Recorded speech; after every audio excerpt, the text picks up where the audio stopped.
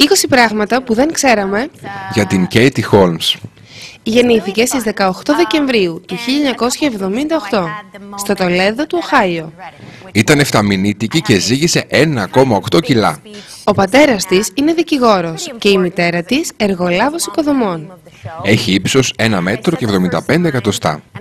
Τελείωσε το σχολείο σε καθολικό λύκειο Θηλαίων στο Οχάιο. Η πρώτη ταινία που είδε στο σινεμά ήταν ο εξωγήινος του Steven Spielberg.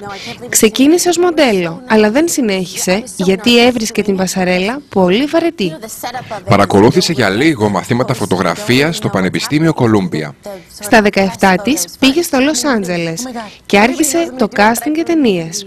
Το ντεμπούτο της στο σινεμά έγινε στην χιονοθύελα του Άγκλι το 1997. Για να ηρεμήσει, τρέχει 4 με 6 χιλιόμετρα μερικές φορές την εβδομάδα. Είχε δηλώσει πως δεν σκόπευε να κάνει σεξ πριν το γάμο. Τελικά δεν το μάθαμε ποτέ.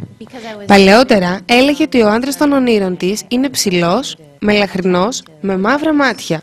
Για χάρη του Κρούς έκανε σκόντο στο ύψος και στο χρώμα των ματιών. Λέγεται ότι απέρριψε το ρόλο της Andy Sedgwick, μουσας του Warhol στο Factory Girl, επειδή ο χαρακτήρας μιας ηρωινομανούς ενοχλούσε τις αιτολογικές θρησκευτικές πεπιθήσεις του τότε σύζυγό της Tom Cruise.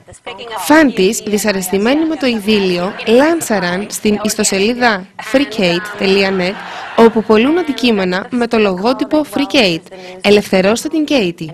Η Warner Brothers την απέκλεισε από το sequel του Batman Begins επειδή ένιωσε ότι η υπερβολική δημοσιότητα της σχέσης της με τον Tom Cruise υποσκίαζε την ταινία.